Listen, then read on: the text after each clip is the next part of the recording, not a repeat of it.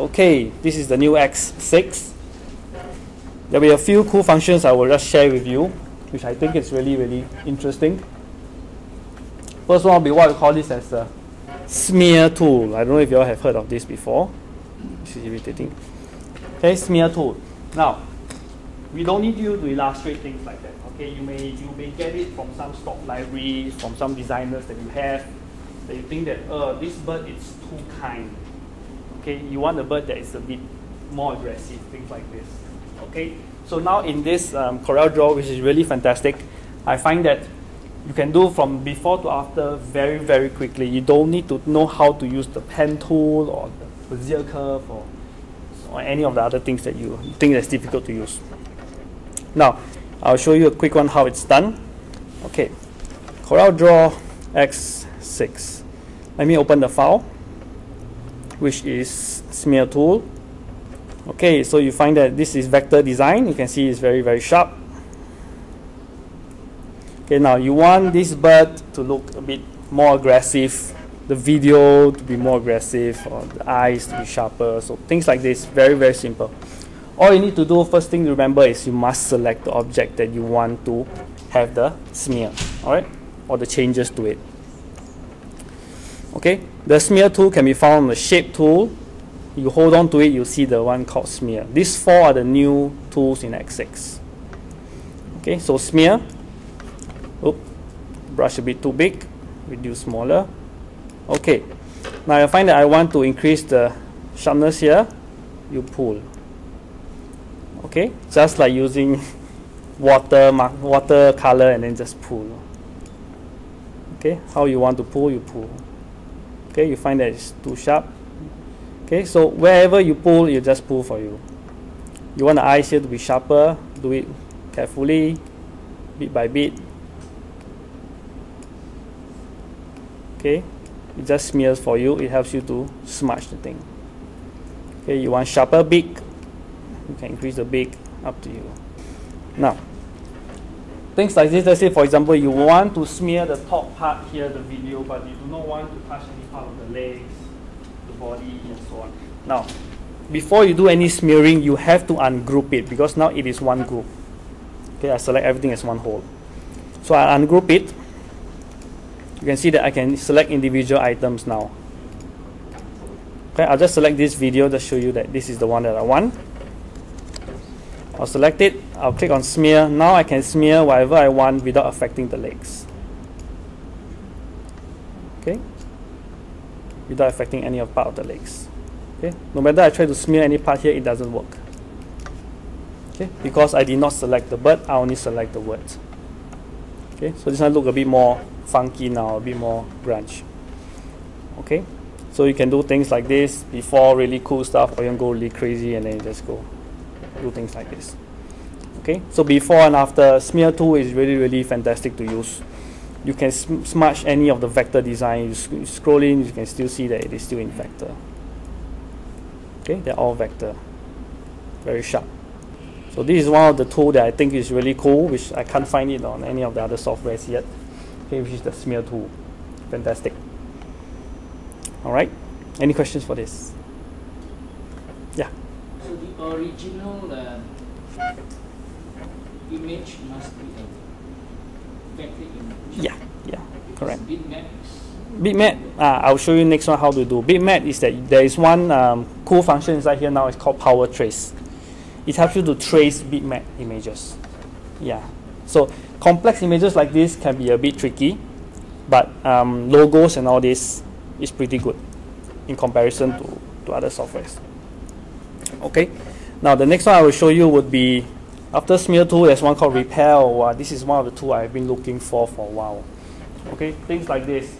Again, I have I typed a content magnifying glass and I did the design of this, but the thing is that this doesn't look a magnifying glass. Okay, this one that does design. Okay, so it helps me to bloat whatever content I have. Again, these are all in vector, not bitmap. So it helps you to increase uh, vector or liquefy things like this. Okay, so the next one I'll show you would be, I'll just close this for a while. Repel tool. All right, so again, these are all in vector. Again, I show you all in vector design.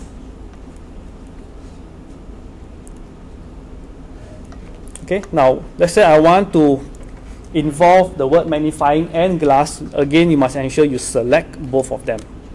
Okay, you must always select whatever you want. In here, together with your smear, you have one called repel. Right, so repel again, increase the size of the brush so that it's not too small.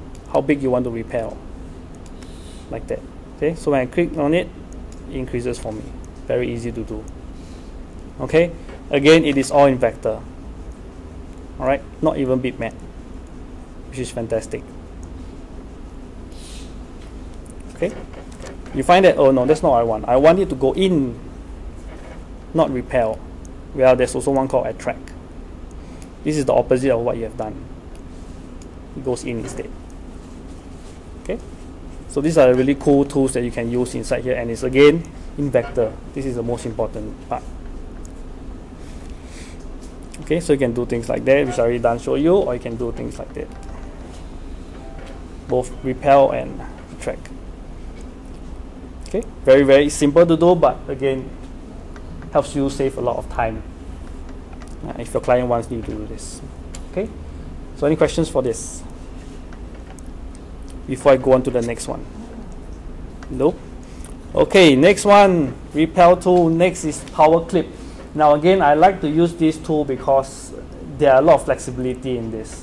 Okay, you want to put this really cool design into the text and maybe you want to do something else again after you have done that.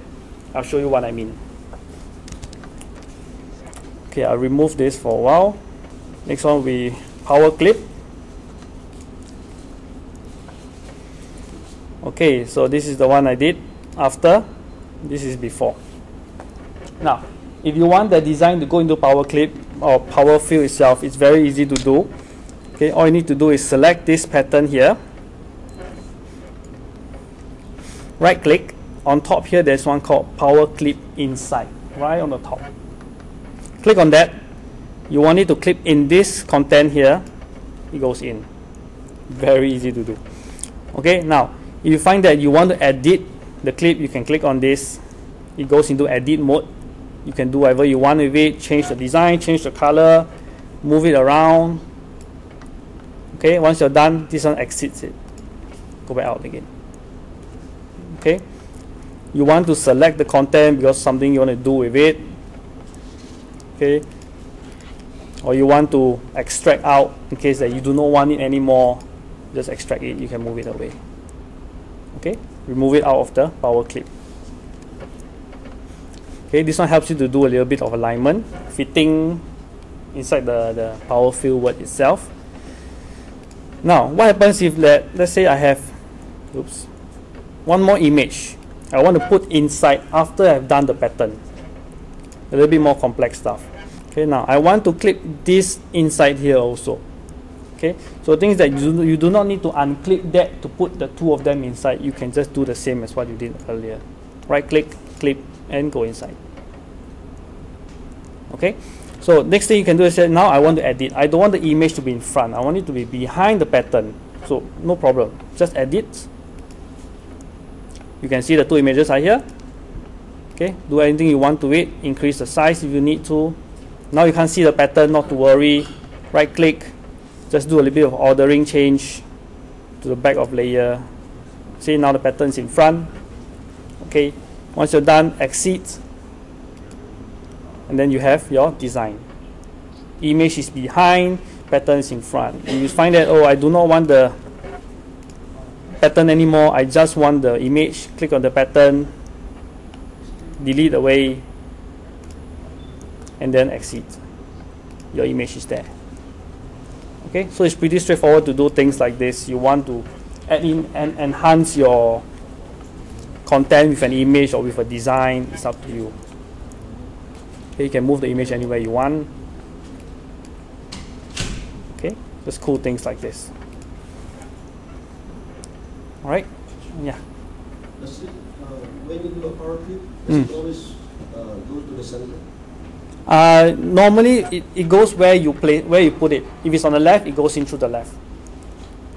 If it's on center, you just go straight straight into the center. Yeah, but you can always The X5 as the power clip options, right? which one? The X5. And Uh, Corel Draw X5. for power clip, no, not that, not not that, not that um, powerful yet. Yeah. Okay, this one gives you a lot of editability now in X6. Yeah, a bit more customized style. Yes, this is the last one of Corel Draw. That's a simple function. Power trace, which is just now uh, I think you, you guys were mentioning. You want to trace an image, complex image like this, or you want to trace a simple logo. I'll show you this one, power trace. Okay, I'll just remove this for a while. Okay, now this is a bitmap image. If I zoom in, you can see it's bitmap, right? Pixelated. Okay. What happens is that if you want to trace and complex things like this, okay, let's say your client say, I want this to be frame up A1, A2 size, A0 size. Bitmap have problem with that if it's a small image like this. So what you do is that you can have one function called trace bitmap outline trace, you can do things like this. Okay, different detail of the tracing. If you want to do a high quality image trace like this, it's the high quality image function there, which is using many, many colors. Let it um, process for a while. It'll take a while because this one is really, really huge. Okay, the more details you have, the longer it takes. But again, it's not very, very long before you get the outcome. It's almost there this is the result that you will get. Okay, how many points? 41,000 points, 200 over colors involved here. Okay, to do a, a vector design like this is going to drive you all, all of us mad. Okay, this is the after. That's the before. Okay, so once you're done with this, you click OK. Now you zoom in. You see, it's vector design. Okay, it traces out all the vector points that you have. All the different sets of colors involved. Because this is like a watermark poster, yeah, you have things like this. Okay, which is really, really cool. Now, you may not always have projects like this. You have things like, let's say you have a logo now. I added a new page here so that we all can see. Okay, I downloaded this logo of Carrefour which is really really small you can see it's only a 72 dpi image a web image okay? If you want to redraw this or you want to trace this it can take time of course. It's not impossible to do it. Okay? If I go in you can see it is bitmap right? Okay? Now if you want to trace things like this again trace bitmap outline trace logo. No need detail because this is only a two color logo. You don't need to go into detail. So logo, click on it. This is faster because not much details are involved. Before and after. You see the accuracy of the tracing. Okay, it's very very accurate. Now you say a uh, simple logo like this. You find that oh I got another client who gives me other logos like this. A bit more colors this time around. Oh, things like this okay you find that oh I'm not going to trace that. It's going to take me too much time. Again this is from a web. Uh, downloaded from a web. Alright so same thing. Outline trace. Oh, again logo not details. Okay now if I zoom in can you see how fantastic it is? The tracing is almost perfect. Okay even the sharpness here is there. The roundness is all there once you're done okay, then you have your vector design. You can do whatever you want with it. Okay, ungroup it. Okay, do anything you want with it. Alright? Any questions for this? Trace. It will add in more colors. Tones of colors. Yeah. If let's say uh, like Mm, the shape will remain, but just more tones. Like what you see the previous painting, yeah. Instead of just five, six colors like this, you probably have 15, 20 colors. Different tones of red, blue, yellow, green, purple, yeah.